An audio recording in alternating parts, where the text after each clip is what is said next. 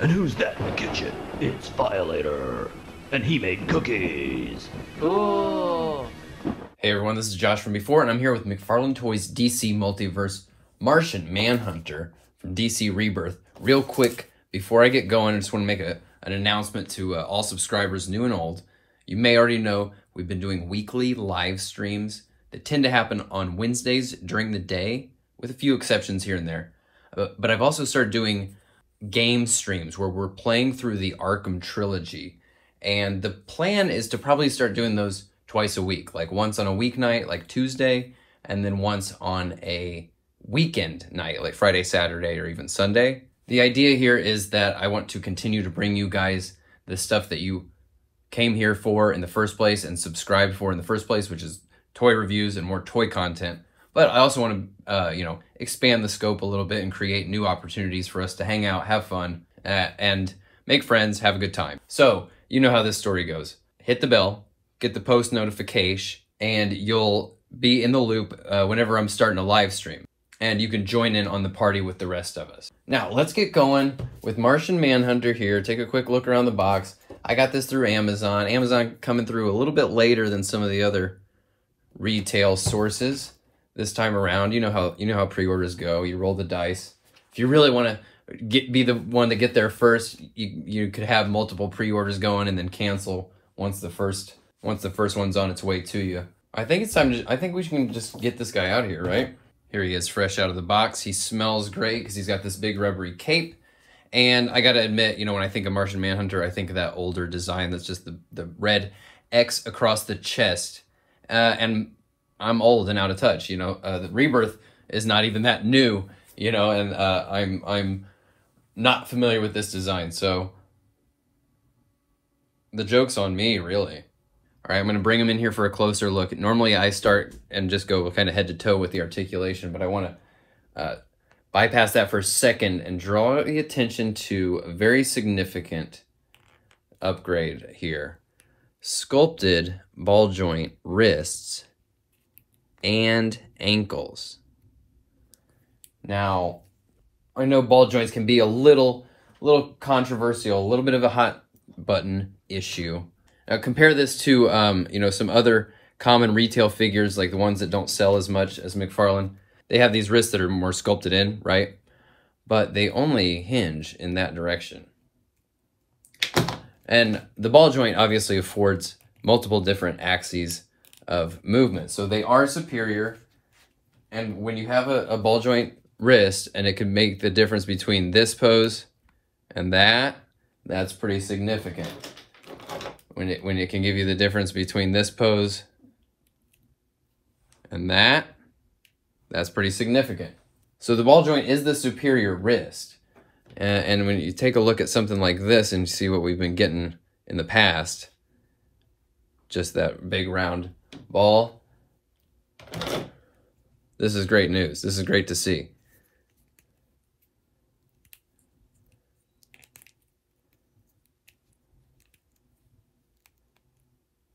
Maybe not perfectly tooled, and you can see there is a little bit of a color mismatch there, but this is a great advancement.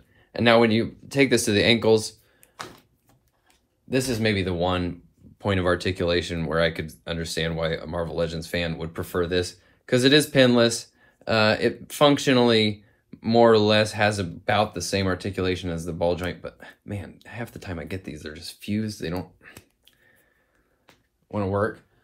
And these things cost more anyway, so so it's great to see it. Uh, I can't can't wait to see many many more sculpted ball joint ankles and wrists. This is this is just great news. Now Okay, now let's pull back from those a bit. This this guy looks really cool. Um, he's got a lot of paint on him, which I really appreciate. Uh, you know, a lot of these little pieces of sort of trim have paint on them. The little medallions here that attach his cape to his uh, sort of breastplate here, they're painted. The paint's on there a little bit heavy. Uh, you can see it a little bit better that there is some sculpted detail on these things. Um, but the paint is on it so heavy that when you get back here, you kind of lose it a little. Lose the detail a little bit.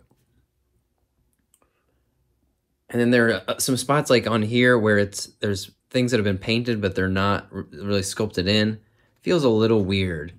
Feels a little odd. But I, I do appreciate um, how many of these little details are painted, do have paint on them. He's got a good amount of paint there on his face, which looks pretty good. It, it is a little close to cartoony for me. I, I, th- I think th- this Aquaman, I think, towed a really nice line between cartoony and exaggerated, uh, but yet still a little bit of exaggerated realness to it. This is a little bit more simplified, I think.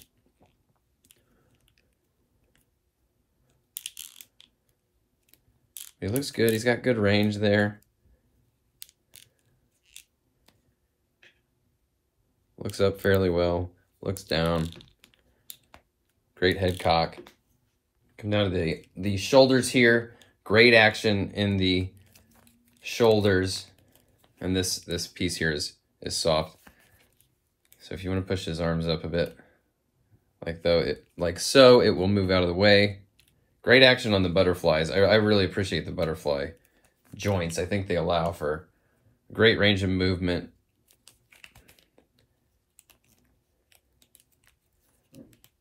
Bicep cut there looks really nicely sculpted, even though the elbows are still a bit awkward and unsightly.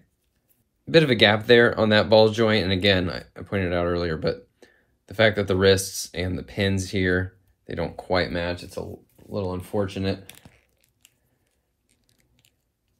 Pretty good action here at the abdomen.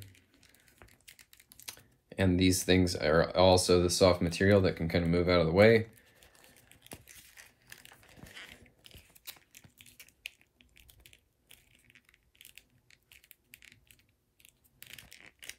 Good waist movement, good ab movement. Kicks are a little encumbered by this large pelvis piece and, and hanging fabric here.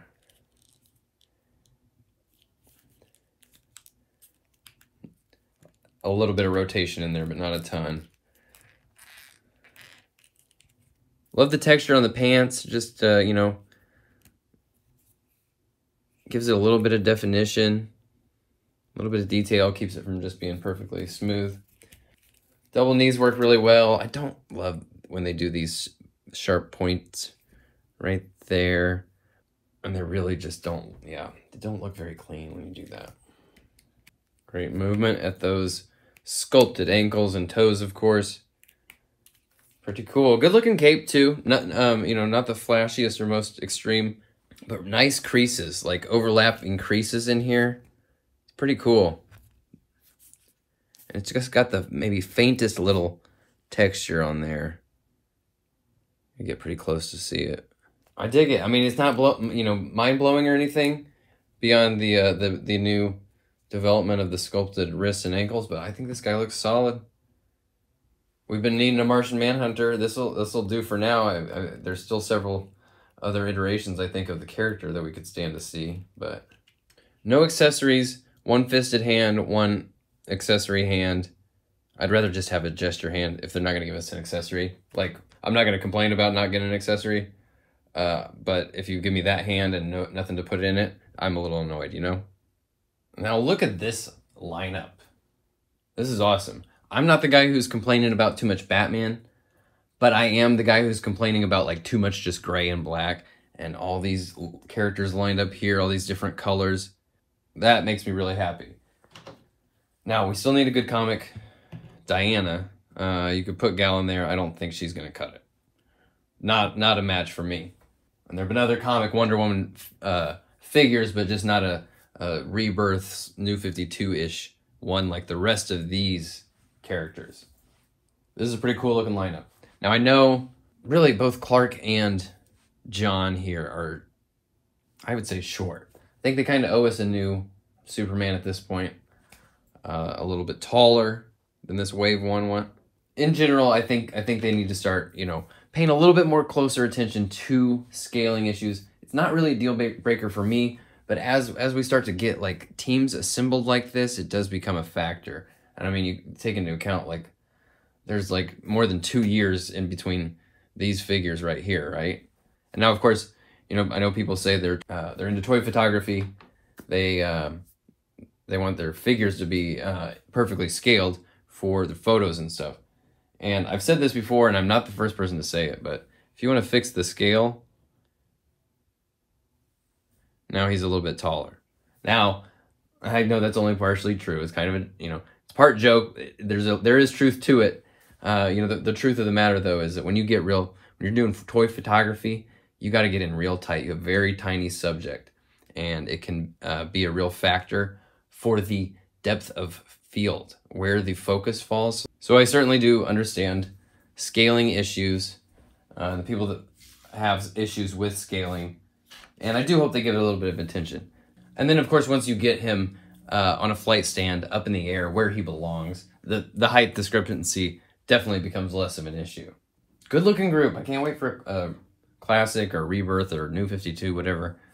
Wonder Woman. We, we need one now to really round this group off. And I actually need a need a Hal Jordan. I, I didn't keep the two pack with him and Dawnbreaker. I didn't need another Dawnbreaker, but I do need a solo Hal Jordan, please. And while we're here, let's take a moment to celebrate today's Hall of Fame entry, Scotty Robinson, long, long time viewer and frequent commenter. Always brightens my day to see that there's a new comment from Scotty. Always got a great positive attitude and interesting perspective. Thanks for being such a great friend of the channel, Scotty. Let's hear it for Scotty Robinson in the comments. And then here he is next to the Warhammer 40k Tyranid Genestealer. And it wasn't my idea, but we were hanging out during one of the live streams and someone suggested that it would make a great white Martian. So here these two together. I think this is just a great, amazing $20 figure, really. Uh, four-armed creature, and I don't, I, am kind of, I'm a DC poser, I guess. I just don't know shit about um, Martian Manhunter. I don't know what the white Martians are whatever. I read indie comics. I can't, you know, I, I didn't read the big two that much. Sorry. And then I have to show you him next to my custom Tech Shield Batman, Sky Escape Joker, and Bob the Goon. And mostly just so I can say, if you want to see how I made these custom action figures, go check out that video right now. All right, folks, that is Martian Manhunter, a great character, really good figure, really solid. I like him definitely a must have if you're trying to com complete your Justice League. If this isn't your favorite design, I would imagine that you could hang on for a little bit and they'll probably give us another iteration of Manhunter down the road somewhere.